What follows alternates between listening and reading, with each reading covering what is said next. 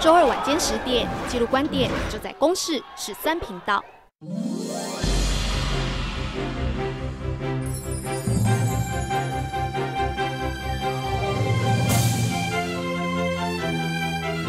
您正在收看公共电视。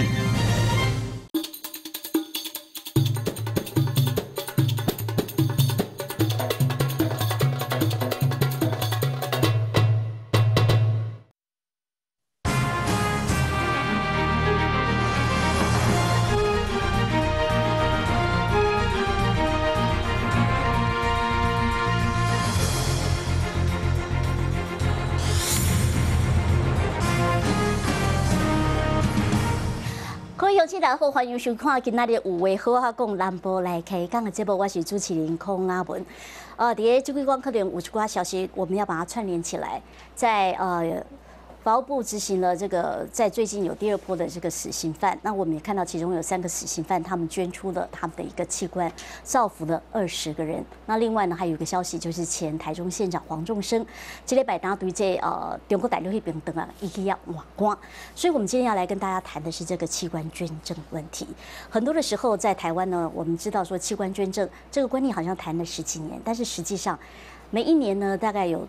愿意捐出自己的大体，就是透过这个家属来说，愿意捐出大体的大概就一百多人。但是实际上，在台湾等待器官捐赠的人，像目前大概都有六七千位，有很多人在这等待当中就结束了自己的生命。那能够等待到了这个器官，能够重新再活过来的，那真的是说，那就是一整个家庭哦，重新再活过来一样。所以，我们今天呢，请到的我们现场的来宾呢，有。捐赠者的家属，还有受赠者，那当然也有专业的医师，我们一起来谈这个问题。那同时，我们也希望是说，其实在这个问题，我们来看的不只是牵涉牵涉到所谓的一个家庭他获得重生，其实这对我们的一个健保来讲，其实也有一个很大的一个经费还有支出上的一个实质上的一个帮助。首先，我要介绍我们今天现场的来宾，在我的左手边，第一位是高雄长庚医院心脏血管外科的主任李方业李医师。主持人以及公司的各位观众，大家好。好，那第二位要介绍就是，呃，他是李主任的这个病患，那五年前曾经接受换心手术的戴建国戴大哥。主持人、现场的观众，大家好。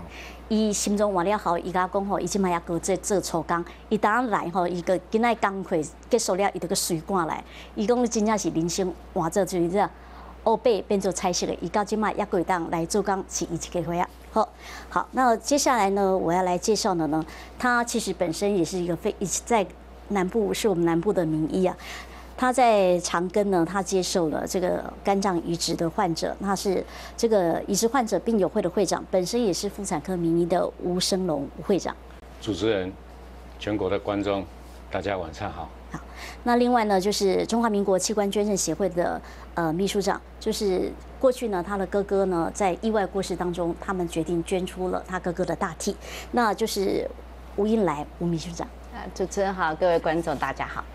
好，我们可以看到的呢，根据卫生署的统计呢，其实呢，从今年呢到三月一号啊，全国等待器官捐赠的人是七千多人，但是实际上的呢，呃，他们最需要的是肾脏、心脏跟肝脏，但是这些人大概都还在苦苦等待，其中最多的是肾脏。那真的能够等到等到这些，比如说等到了一颗心脏，等到一颗肝脏或肾脏的人，真的老实说。比例相当的低，所以很多人还在苦苦的等待。我们先来看一段 VCR。资深艺人石英几年前因为拍戏劳累，引发猛暴性肝炎病危，后来是儿子捐肝给他，才救回一命。我们两个可以说是现在是，呃呃，同同同一个心肝就是了哈。呃，我我我很很感激他。知名造型师林立也曾经因为累出肾脏病，紧急换肾才找回健康。我的个人恢复的状况还蛮好的，就是，可是朋友的话还有医生一直叮咛说，小心一点。这礼拜前，台中县长黄仲生刚从中国做完换肝手术，之前也曾经因为新型肝炎而一度病危。让我能够再一次的体会到人生的可贵，所以我一定对于捐肝人，我要深深的表示内心的感激。其实台湾要换肝、换肾，甚至换心的病患还不少。根据卫生署最新统计，到今年三月一号，全国等待捐赠器官的人数是七千零八十四人，其中以肾脏、肝脏和心脏的需求最多。但是今年以来，能如愿接受移植的却只有六十八人，比例相差非常的大。资深媒体工作者余辉强三年前成功做了换肝手术，但是之前那段等待的时间，整个家庭每天都和死神拔河。在等器官的时候，那个院长陈院长也跟我讲说。你要等到是很难，他就直接跟我们讲，因为太多人了，以我的症状我还排不到前面。肝硬化造成四次大吐血，一个月就瘦了五公斤，每一次打喷嚏都会紧张。不止于辉强自己受苦，老婆和儿子更是担心害怕。尤其家里的经济要顾，于辉强的身体也要顾，家人根本是蜡烛两头烧。他是一生病，好像就全部都我我在承担，感觉啊。我又要请假，又要照顾他，又要陪他们去评估，真的心力交瘁，一路走下来。求医、求关系，甚至得求神问卜，家人帮他求，朋友也帮他求，他们求的就是一个能让余辉强继续活下去的希望。那另外就有很多贵人，都帮我求的那个平安符啊，我都把它留起来了，有蛮多的平安符，还有那个，这个是阿里山的寿正宫的那个玄天上帝。是有，所以一路走来都受到很多贵人，看到贵人的帮助。不知道醒来是不是还能看见阳光？余辉强甚至还留下了遗书，要把他剩余的器官捐献给需要的人。余太太现在读来，其实还是很激动。我还跟他讲说，如果以后我走掉了，我也可以捐出去，然后把我把我的骨灰撒到河外山，因为那边太漂亮了。熬过四个多月痛苦的日子。最后，外甥决定捐出三分之二的肝脏。那小孩讲了一句话：“爸爸，我啦，给我丢一个，等于就救了他们全家。”哦，听得实在很感动。就刚满二十岁一个大学生，竟然有这么这么宽大的胸襟，真的很了不起。只是像余辉强幸运得到捐赠的病患，其实不多。李太太也说，在加护病房期间，看到许多的病患，最后也都等不下去了。感谢，真的是也讲了很多次嘛，当然心里一定很感谢了。那我现在就是一直把他当成我自己的儿子一样，甚至他姐姐妹妹，我都还是当成自己家人。那当然，他有这样的举动，我真的是很感谢他，真的很感谢。台湾每年有七千多人等待器官移植，等待希望降临的那天。与家人的故事其实就是他们的缩影。现在余辉强对生命有着许多深刻的体认，更乐观、更积极活出生命。但是另外七千多人呢？要继续等，还是等到撑不下去了？或许这个社会要给他们的是更多的支持，而提倡器官捐赠的风气，也许是我们可以做的第一步。好，我们刚才看到了那段 VCR，其实呃。刚才那个 VCR 的这个主角余辉强，他是我以前的同事。那以前我们就知道说他肝硬化很严重，只是说还不知道说啊，到后来还需要到换肝的程度。但是我觉得在这一段时间呢，知道自己的身体不好，对他自己来讲，对家庭都是一种煎熬。我要先来请教的是这个戴先生。哦，当你知道说自己需要这个自己的心脏需要换一粒心脏的时阵，你迄个心情，像那你当敢讲一个，你个是一个。迄个时阵真正足紧张的啊。嗯。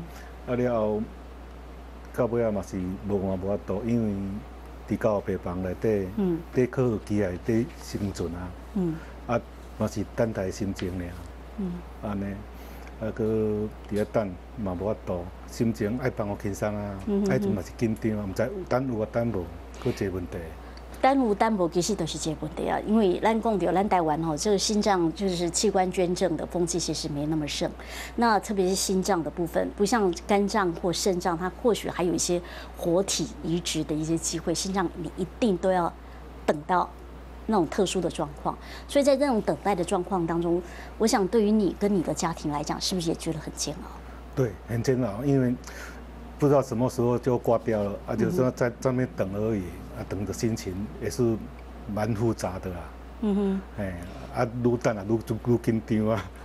李准，你那时候就是家庭呢，比如说家人跟着你一起，家人比我，我回想起来，家人比我还辛苦，说真的。嗯哼他也不知道，他们很担心啊。我在那边，他们很无助啊。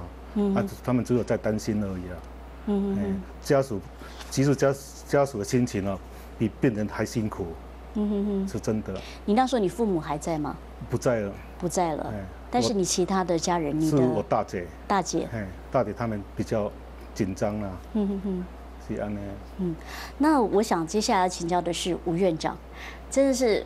你自己本身是妇产科的名医，当你比如说知道自己得了这个癌症之后，原本知道你自己得了癌症之后，然后到你还知道需要去换一颗肝的时候，你可以跟我跟我们聊聊，因为我想跟一般病人的看法或心情有差别吗？还是说其实也是一样？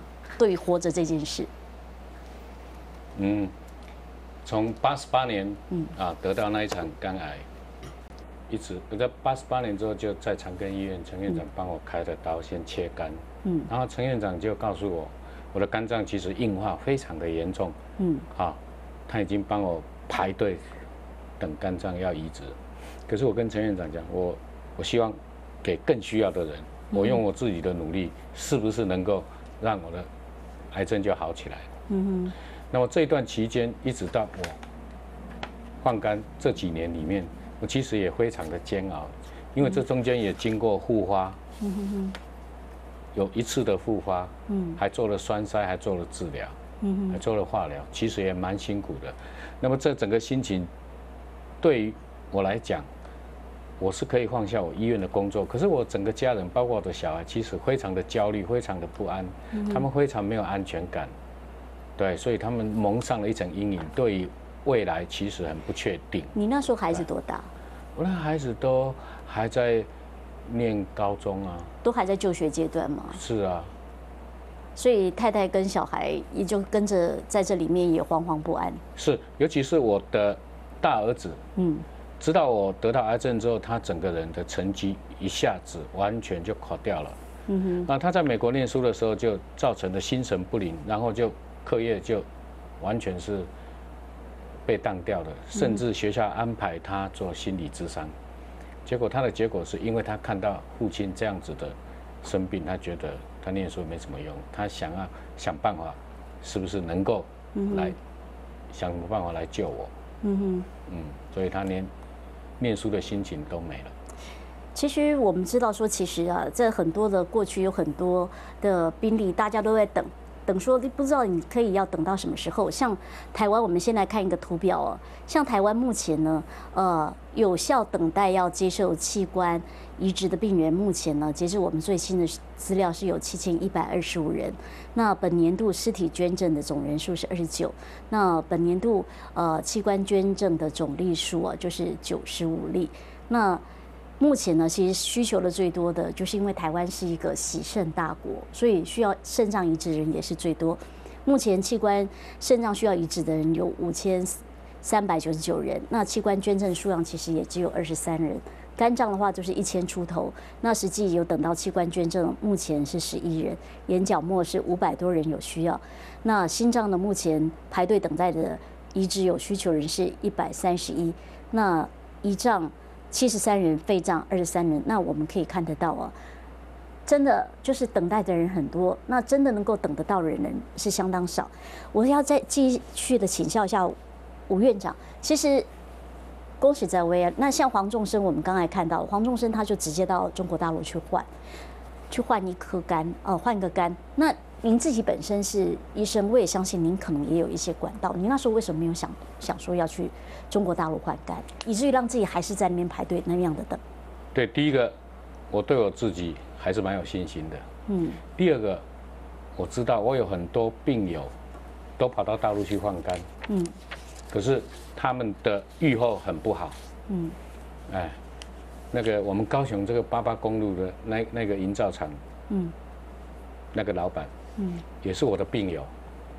那后来他到大陆去换肝，回来没多久，嗯，就往生了。嗯哼。那还有另外一个医生，也是高雄的医生，他也是保到广州中山医院去换的。嗯哼。那回来之后没多久，也是在我们长庚医院住院住一段时间之后，嗯哼，也没办法往生了。所以，其实我对大陆的那种技术跟照顾，其实我还是没有。十足的把握，大陆的技术是土法炼钢，因为 case 开得多，所以他们的技巧熟练。可是他们术后的照顾的那个精细度、那个细腻度、那个完整性，其实差我们台湾还差太多了。嗯，所以我选择留在台湾继续等。嗯哼，那像如果像那个呃，戴大哥，戴大哥，您等了多久的时间？我等了差不多三个月。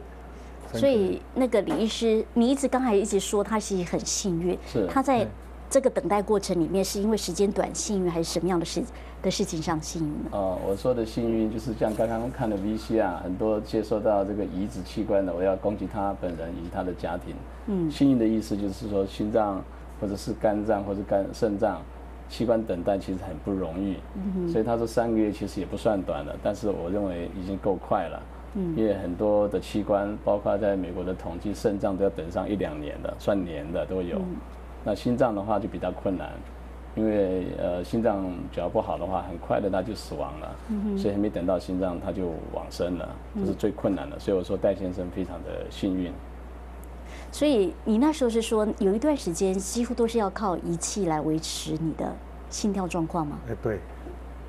所以他那时候在等待，像李医师，像因为心脏我们刚才提过了，心脏要做移植在台湾是比较少，而且这个机会其实也是相当的少的。像你面对这样的状况，是不是也有一些的病人在等待当中就这样过去了？呃，是的，没错。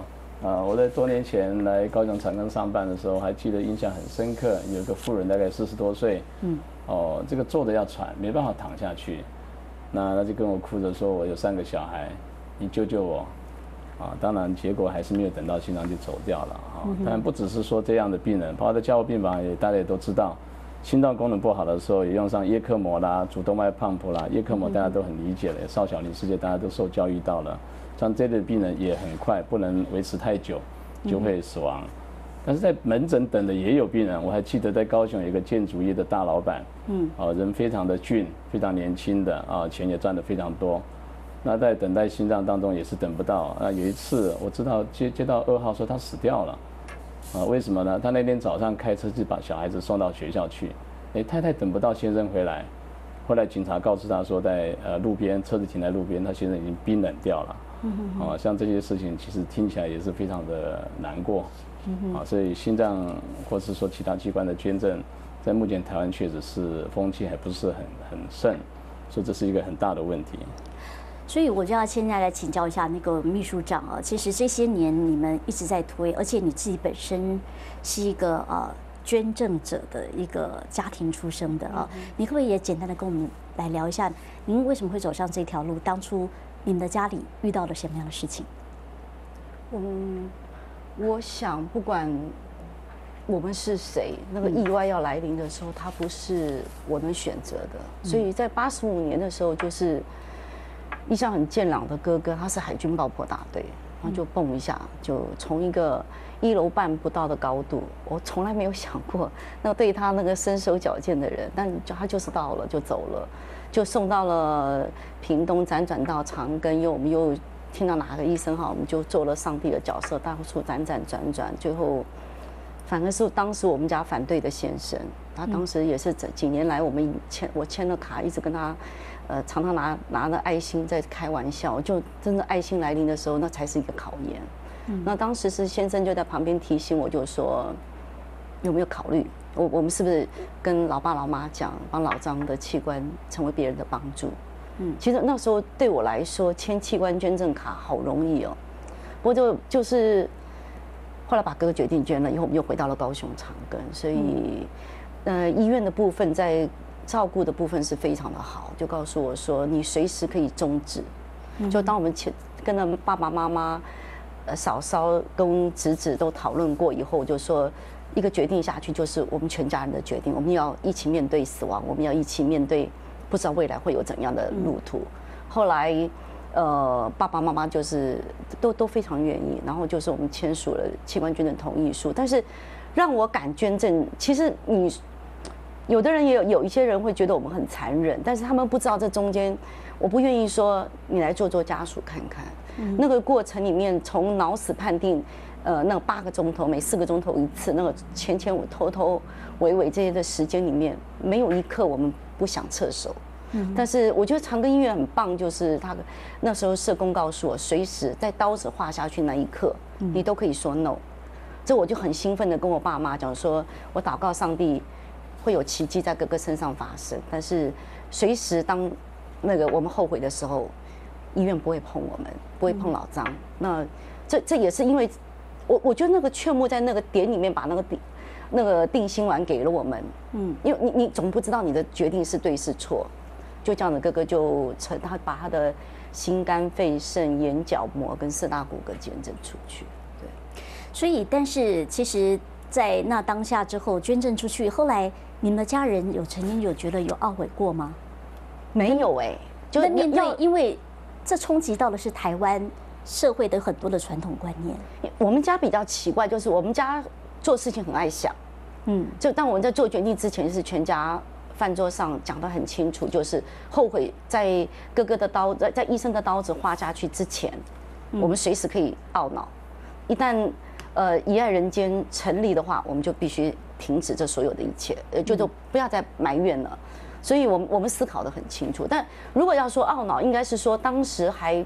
一直就说台湾在捐售双方不能碰面，没有人告诉我们受的一方好好坏坏，嗯，所以那时候不是那不叫做懊恼，应该是说很遗憾，不知道受赠者过得可好这样子，那好像几乎都是所有的捐赠家属的一个心声吧。如果像是这样子的话，当你后来你们有在跟这些受捐赠者的这些人有碰过面吗？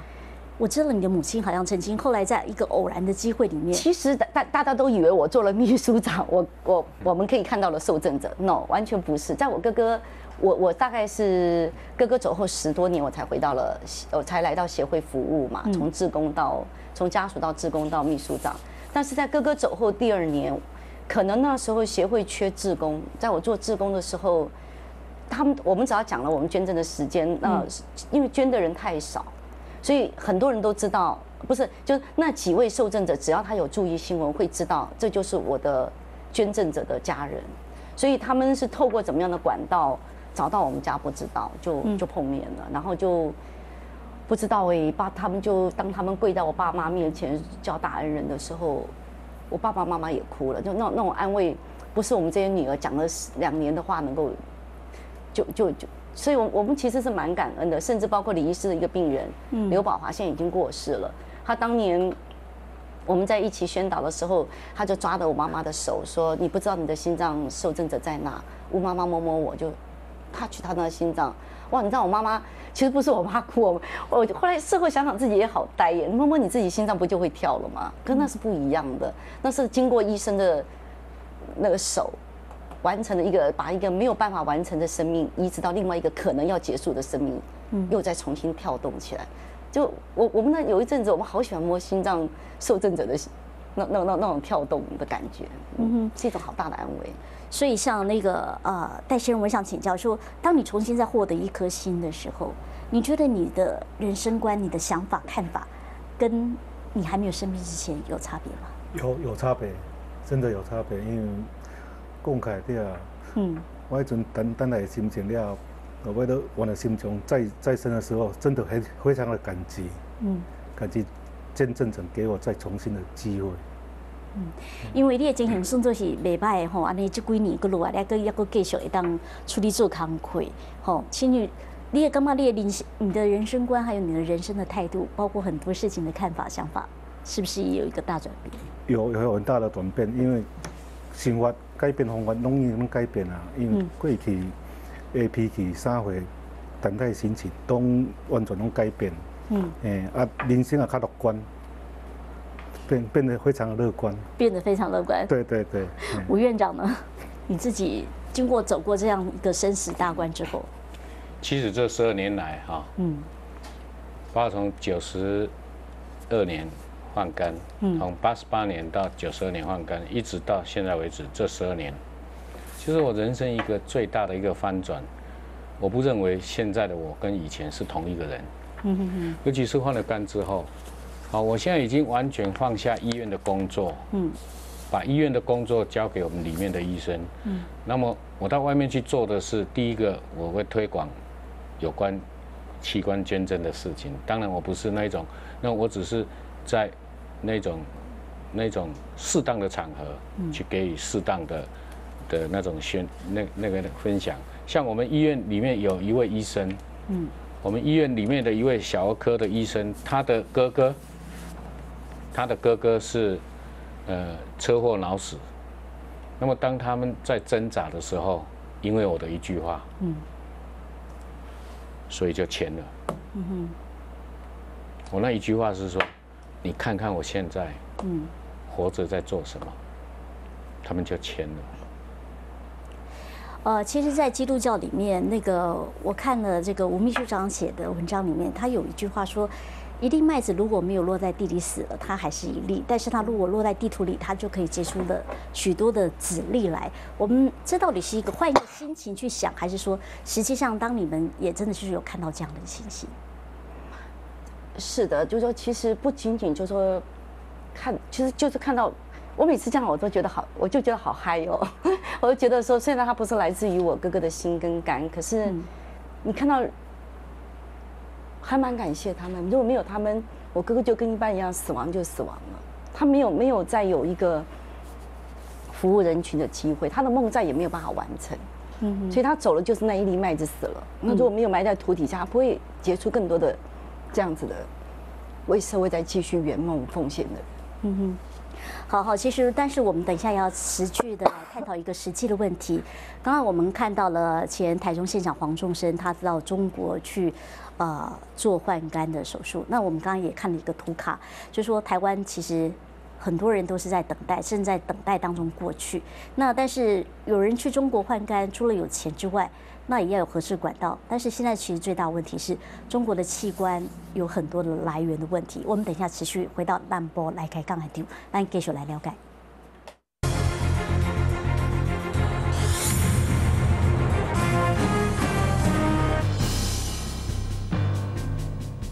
小小农作物种子掌控着有机种植的关键技术。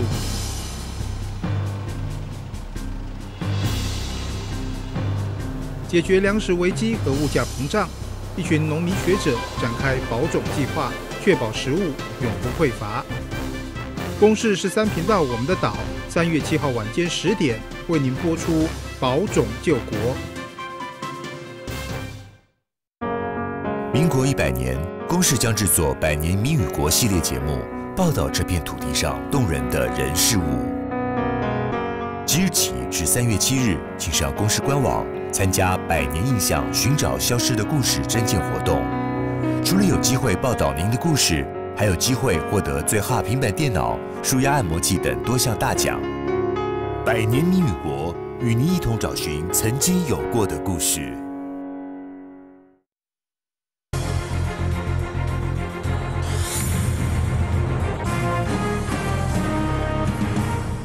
欢迎继续到咱个南博来开讲的现场啊！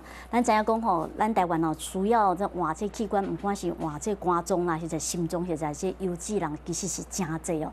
特别是这些邮寄伫咱台湾哦，这几年这健保支出将近要三百亿，两三百亿个拢是这哦写邮寄这个部分啊。你有知影讲，其实你若讲不爱写邮寄，不爱写邮寄，不要洗肾的话，唯一的办法大概就是一个去换一颗肾。但是我们说过了，在台湾现在器官捐赠的风气不盛。那为了求活命，很多人到对岸去，哦，到对岸去，甚至很多到对岸去的人，他们回来了，但是也带来了一些问题。那在中国，这个器官捐赠来源其实也是个问题。我们先来看一段米西亚。台湾很多人等不到器官怎么办？过去有人选择到中国去，用买的换肝两百万台币，换肾一百万台币。在中国，器官移植是个缺凯子的生意。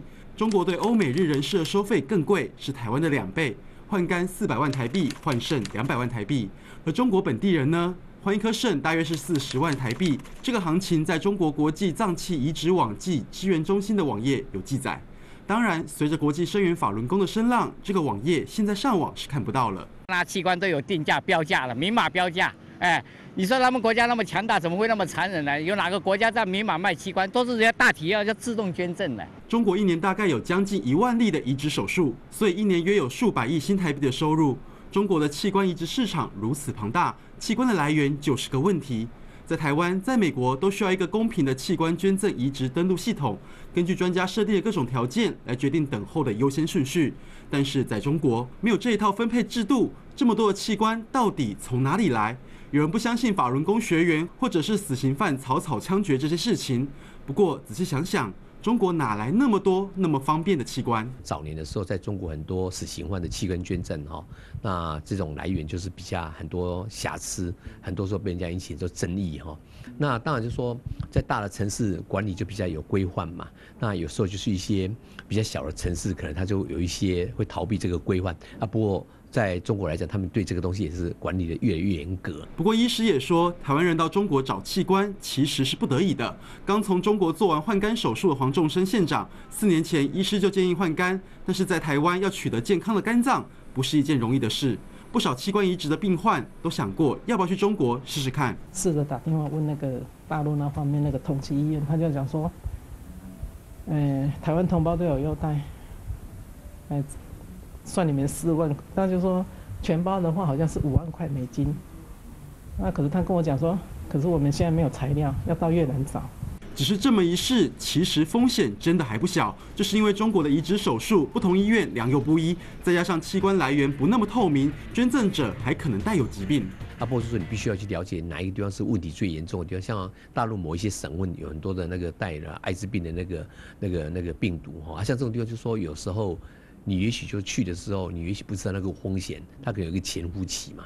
虽然中国这两年开始禁止器官买卖，但是黑市的交易仍然时有所闻。就连台湾的器官捐赠网络讨论区里，都还有来自于中国的广告，表明要捐肾脏，但是一颗要价七十万元。没钱没关系的病友，很可能就因此冒了风险。李博章医师说，病友会做出这类不得已的决定，主要还是因为台湾的捐赠风气不够，政府也该更积极宣导。我们必须要建立我们本土的一个器官移植的一个发展哈，在这一这一步来讲的话呢，我想就说这个不是一天两天就得到结果，像对很多民众的教育或是整个一个医界或社会来讲，怎么取得一个共识，这是很重要的一个课题。只是看着七千多位等待器官的病友，他们下一步该怎么走？要继续等待，还是去中国搏看看运气？个中的痛苦与心酸，或许只有病友和他们的家属才能知道了。好，我们刚才看到了这这个器官捐赠，因为我们台湾在一个器官捐赠的风气真的比较不盛，所以很多人他真的会到中国去找一个机会。我们这里也有做了一个整理的图卡啊，比如说在台湾呢，就是脑死的病人，或者是像肾脏跟肝脏亲属之间，如果比对 OK 的话，是可以做一些活体捐赠的。那在中国的话，就是以死刑跟脑死的病人为主。那就是器官的数量，比如说这是以这个换肝来做比较哈，我们现在是以换肝来做比较比较。台湾一年大概是七八十例，那在中国的话，就是在两千零五年是超过了两千五百例。那移植的费用，这是健保在台湾是健保的给付，自费大概付十万块以下。那移植如果去中国的话，大概要三百万到五百万。那移植的风险呢，在台湾你要等，你就要花时间等，等什么时候等得到不知道。那可能要等到平均了，要到三百一十一天。那在中国移植的风险就是器官来源不透明，那也不知道，因为来源不透明，你也不晓得说到底会不会有传染的风险。那术后的问题当然就是一个器官排斥。那在中国大陆进行手术之后的话，就是你回台湾比较难追踪这个器官的来源。好，这是李医师，我想请教的。虽然说有这些问题排在这个排在眼前，但是我们可以看得到，在台湾。还是有很多人去换肝、去换肾，应该说换新的可能比较少，但是肝跟肾的确是比较多。为什么？呃，主要就是器官来源不容易。嗯。呃，也晓得在整个器官移植要成功，有好多的层次。从一开始病人的评估以及捐赠者的评估都非常的重要，啊，不能有稍微的疏失，在台湾是非常严谨的。嗯那手术的技术来讲。还有事后的照顾也是非常非常的重要，啊，事后常常就是说排斥以及感染都要非常严密的监测，啊，在手术的技术以及后面的照顾来讲，台湾的水准是绝对是优于大陆的。嗯哼。那唯一呃很可惜的就是在器官的来源这一点就非常呃没办法去补足这一块。那我所知道的资料，像呃欧美大概一百万人，大概有呃呃可以有二十个捐赠者，香港也有十八，台湾大概七点七点二左右，所以远远是落后于其他先进的国家。那就是因为这个原因，所以大概这些肝脏的、肾脏的病病友，因为没有器官，才呃病急乱投医吧，就往那边跑了。可是老实说，因为你刚刚我们也看到，在台湾要排一个队，真是要排的非常的久，平均要三百一十一天。那能不能熬过这段时间？这是一个平均。哈，那有人甚至要排得更久。那像在像在这个呃肾脏，特别在台湾这个洗肾的人这么多，很多人就真的是说，那就不如如果。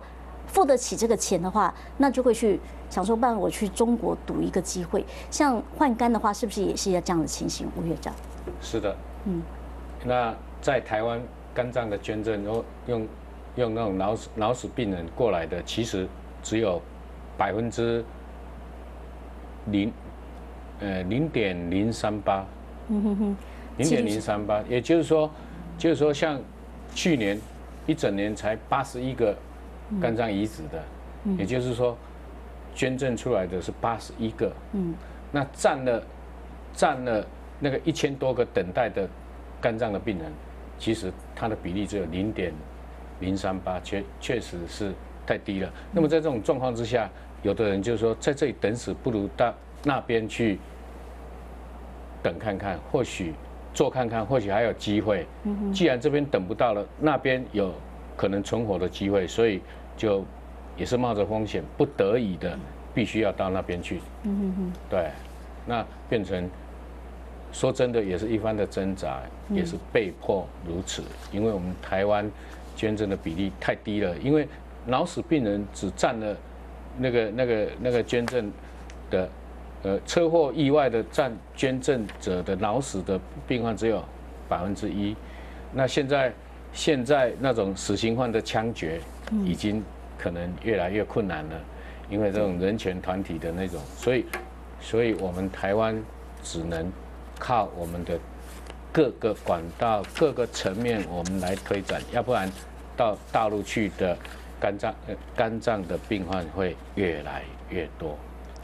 可是，刚才提到一个最根本的问题，这样在台湾呢，其实这样的一个器官捐赠的这个风气的确是不盛的。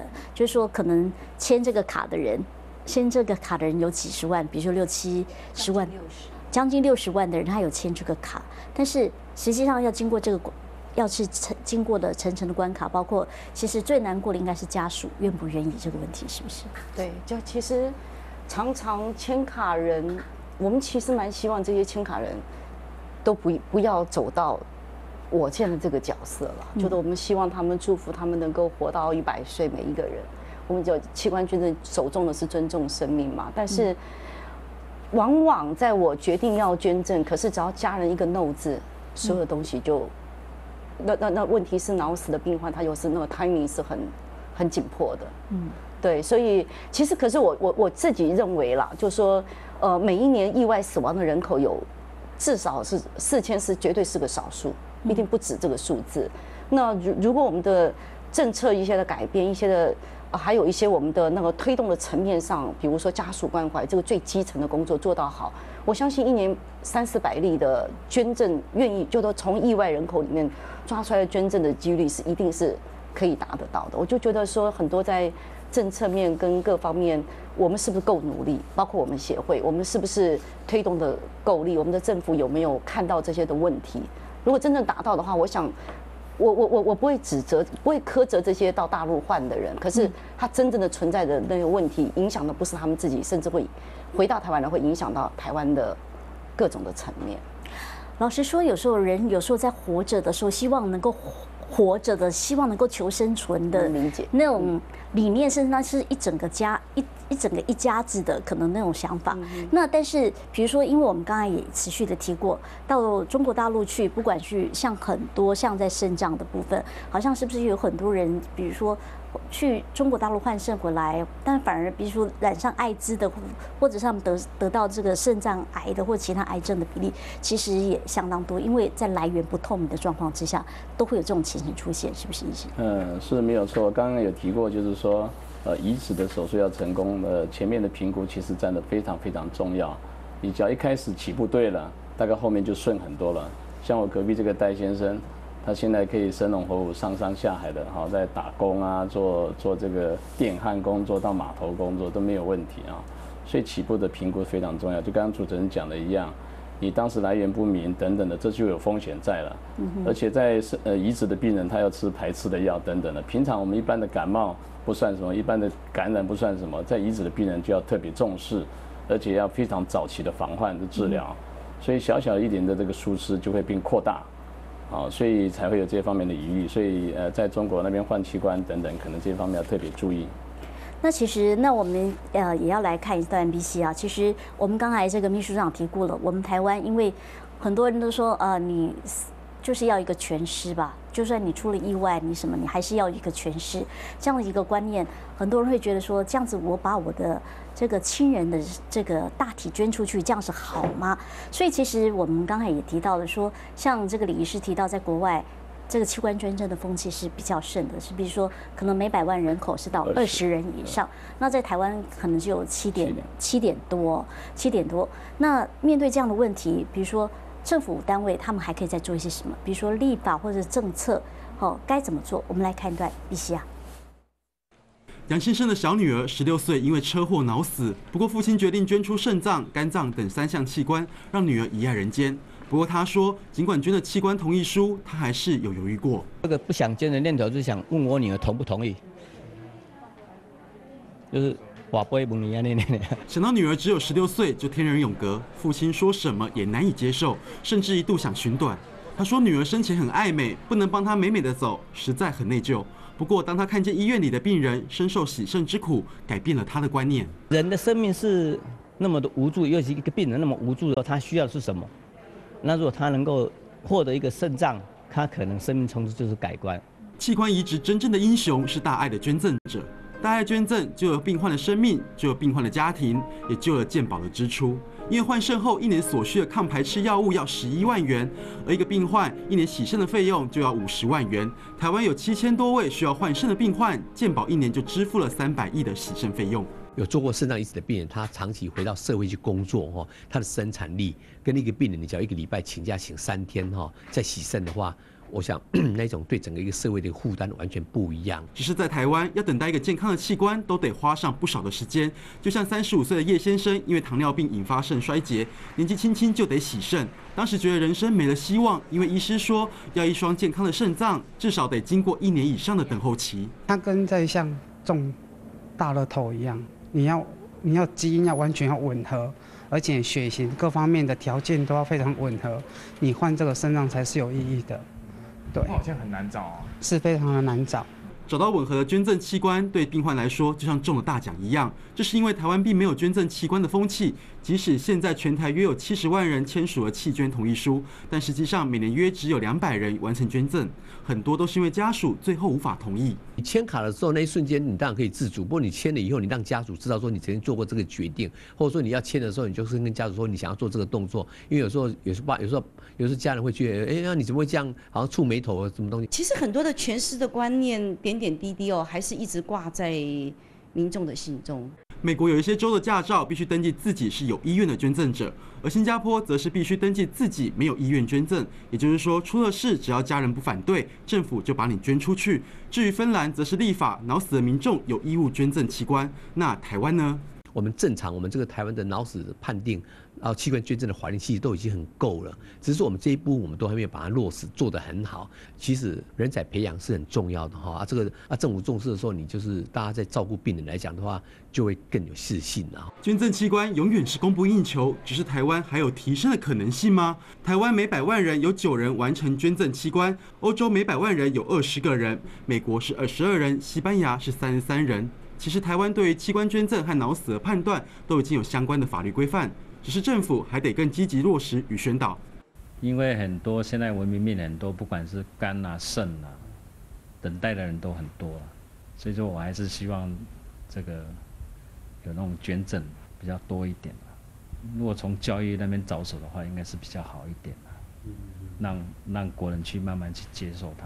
对于重拾生命的器官移植病友，他们每天感谢的不是只有天，还有那位捐出器官让更多人生命发亮的大爱英雄。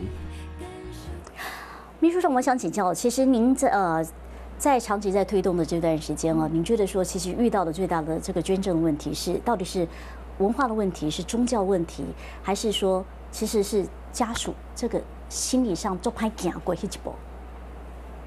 我我我，其实全尸还是排第一了。你常常听到了，还是会有一些就会担心啊，我签了卡我就会死了，就这种这种，然后就会就被可能就没有办法诠释。但是这几年呢，就说呃，从一个家属到我现在这个坐在这边，我每天接触到一些签卡的民众，一些留言，Facebook 一些的回话哦，我发现到现在有些人他签了卡退卡，或是他不愿意签卡，因为我每次。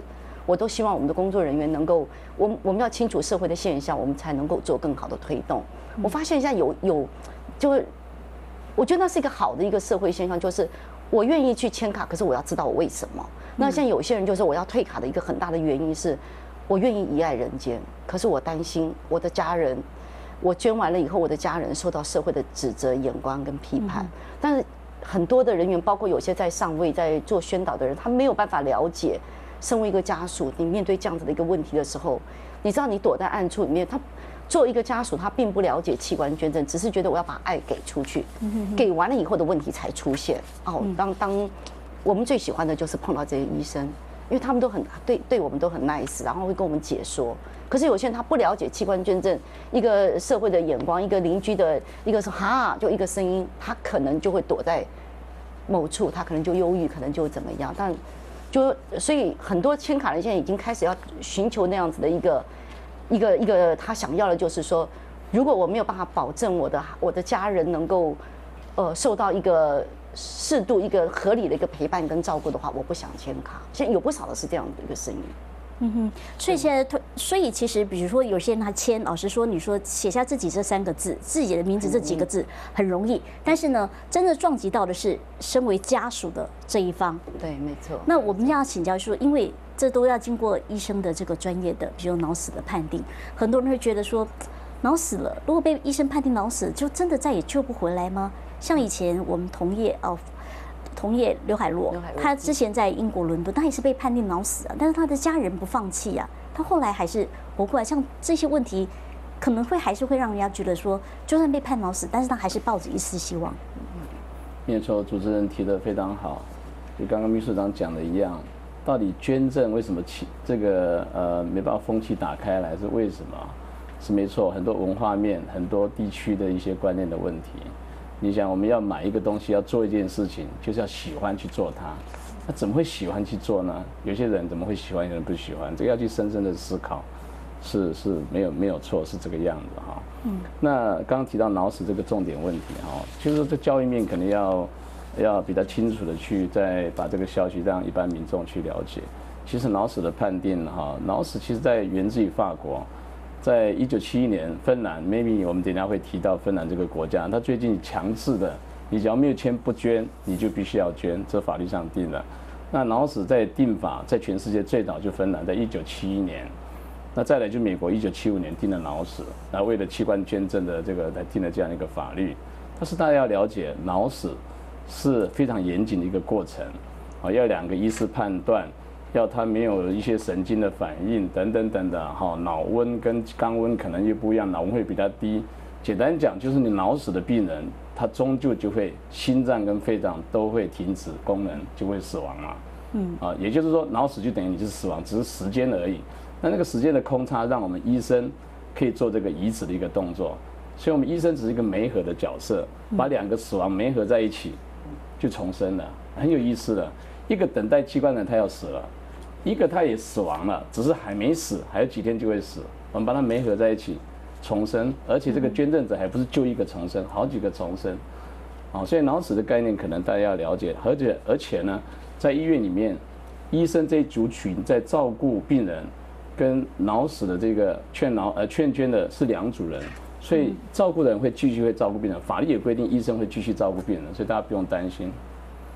好好，我们等一下要继续回到我们的现场，我们要来关心的就是说，其实对于捐赠者的大爱啊，那我们整个社会其实都需要用一些正面的一个角度去看待这件事情，甚至可能我们要重新来对于这些生死的部分，呃，也应该有一些重新有一些新的界定。待会继续回到兰博来开刚海丁。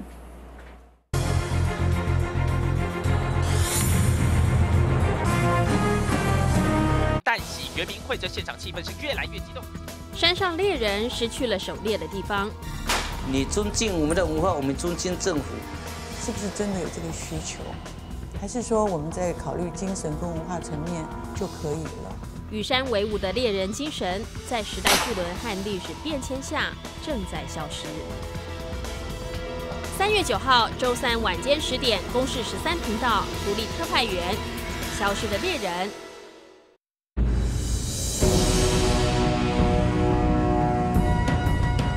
沈阳故宫名列世界文化遗产名录之一，历经大清两代帝王在此生活与执政。本次选出一百二十四件富含女真建国精神的文物藏品，展现大清六皇一后的泱泱气势与宫廷御用之美。详情请下零二二六三三二零零零转九。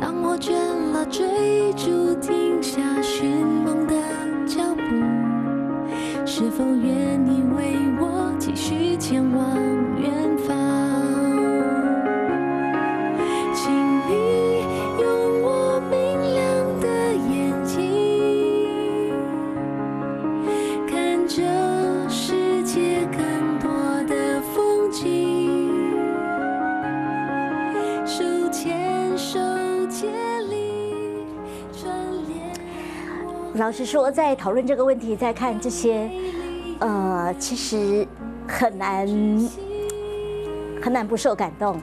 那其实我想，在这是对于捐赠者的家属来讲，他们其实在梦碰到的是一个意外，那又遇到的是说，可能在这段时间，医院的社工会开口说，如果遇到这个状况，你们愿意吗？像这种，我觉得对一个捐赠者的家属来讲，他遇到的是一个双重的大的打击跟一个问题在哪里？嗯，是，其实其实，如但是就说，如果是陪伴的关系够，嗯，你不会，我觉得那个接受度会，我们反而是一种感谢，就会觉得说，你提供了我一个我哥哥可能会活下去的一个机会。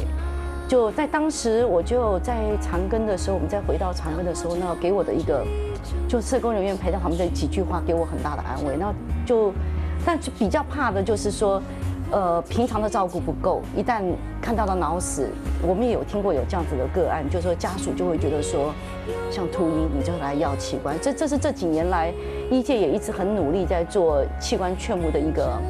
一个一个教导，就是说，如果我们能够真的能视病由亲，那当那个躺在病床上的时候，我们被劝募的，至少我这个家属，我我会觉得很感谢当时与我一起并肩作战的这些医护人员，不是大不是他们，我哥哥今天不会活的。虽然我现在不知道还有几位还在，你会不会想要去知道？会啊会啊会啊！就但是他们到底过得好不好？比如说，他们接受你哥哥的百分之两百的肝、肾、他的心、他的器官的这些部分，你会想知道说，到底他有没有好好的活下去，或者是怎么样？他的家庭怎么样？没错，你会很想知道吗？会，几乎每个家属都会。但是台湾因为捐受不能碰面，那其实我们蛮希望当当年在也呃长庚医院协助，就说希望医院端能够让捐赠家属一张卡片不具名，让家属知道。呃，他们过得好不好？那是一个好大好大的一个安慰。当我哥哥的受赠者，呃，来找我父母的时候，我爸爸妈妈哭了。可是他就告诉我们要把器官捐赠要让全市全台湾的人都知道。之后我哥哥的受赠者，就我们我们是因为也不齐，我不知道他们就怎么找到我们。他在九四年的时候，他大概患了八年后，他也也也得了癌症离开了。那他也把他的眼角膜留在这个人世间。所以其实透过这样子一个一个一个互动，我们也看到了，就是真的很感谢他们呢，就让我爸爸妈妈看到哥哥。虽然又走了，可是他又活下来了，又又又变得又两个人。这其实对你的父母来说，他是一个安慰，对不对？非常大。虽然虽然眼里面一定会有眼泪啦，但是就是，呃，就是觉得爸连我爸爸领我爸爸五年前走了，他就告诉我说，你不能放弃器捐，不能放弃器官捐赠，因为对做父母来讲，其实最悲伤的就是白发人送黑发人，但是他可以从这当中，他得到了一个另外一种安慰的安慰。对，非常大，对，所以他也希望就是说，爸爸妈妈也看到捐赠家属没有被公平的对待，就希望我当时不知道我会做秘书长了，就是希望能够在我们家属联谊会里面能够帮助这些家属，至少陪他帮他们擦点眼泪。其实我们可以看到说，其实做器官捐赠，那我们可以在照顾那些真的是说有些有等待的，呃，这些不管是病人或者说他们的一个家庭，我想这。包括这一个礼拜五，这是死刑犯的一个枪决啊。那他们捐出来，捐出他们的器官，有三个人捐出他们器官，造福了二十个家庭。那比如说这一部分，我们是不是应该要很正面去看待？当然，我们有看到有人说，因为是死刑犯的肾脏，他不要。但是如果说就一个等待者的角度来讲，你们会在乎吗？戴先生，你会在乎吗？我不会在乎。真的不会，因为活下去比较重要。对对对。所以像李医师，我们应该怎么去看这件事情？呃，是没错，很多事情都是一个想法、一个观念，所以这就牵扯到教育了。就说你说是呃，他是男的你不想要，他是死刑犯你不想要，这是教育。跟一样，我要捐，我为什么捐不出去？好，这个等于教育哈。所以呃，我们医护人员在照顾病人的当中呢。啊，当知道他脑死的时候，这个主治医师这个团队呢，就要告诉他说，你会死亡了，但是你有一个机会选择，啊，你有机会选择把爱爱继续传下去，就刚刚主持人提的一样，跟秘书长讲的一样，接受者家属终于知道了，呃，他重生了，但是捐赠者也知道他的亲属并没有死亡，还继续活下去。大家还记得这个我们一个黑人导演，呃，黑人演员，呃，威尔史密斯演的那个《七生有幸》叫《Seven Pounds》，嗯，他认识一个女儿女孩。她是心脏不好，威尔斯他自己后来把心脏捐给她，他自杀的时候把心脏捐给他的这个女孩子，就女孩子看到他接受他眼角膜的啦，接受他肝脏这些的病友，就抱着他们好像是抱着她的男友一样，都非常感人。那不但是说，呃呃，捐赠者很想知道说器官跑到哪里去活得好，其实接受者有时候时候也想回来，再跟捐赠捐赠者谢谢，也有这样的例子，但是就是怕说有一些。不好处理的一个状况，因为捐赠的家还有家属，还有各种家成员在，怕有困扰，所以我那时候在协会有建议到，是不是在一个平台，在一个捐赠协会的平台，啊，先不要互通，中间有个平台让大家互通消息，啊，真可以的话就见面吧。啊，这个两方面都非常的温馨。我知道说，哎，我还活着，我的亲人还活着，当然一个选择。刚刚我们一起提到哦，就是说在欧美国家，我们可以看到很多器官捐赠的比率是比较高的。那在台湾，那台湾的话其实是还需要再加油。那像秘书长，你们觉得说在这一段时间，比如说像呃欧美国家像芬兰，他说你如果没有说不，那就表示要。嗯。但是这个政策在台湾行得通吗？如果我们政府真的要定这样的政策？我个人赞同，可是我知道在台湾，在目前为止，就就我们接触的一些的民众很大量，嗯，几乎是不太容易。就前一阵子，叫去年就是一个，呃，意愿上面就没有做一个勾选，就是你不说不要就是要的时候，单单是弃捐卡这样子一个签署的时候，就整个闹的版面很大。那时候有个政府疯了吗？就是就是就是那个新闻。所以我个人其实赞同，但是好像现在推动有点困难，对。李主任，你觉得呢？呃，我认为这个都市更新谁得利？房价高涨压不住，社会住宅在哪里？三月七号、八号，公示有话好说。PN 新闻议题中心，总统的十二件囧事，住宅政策篇。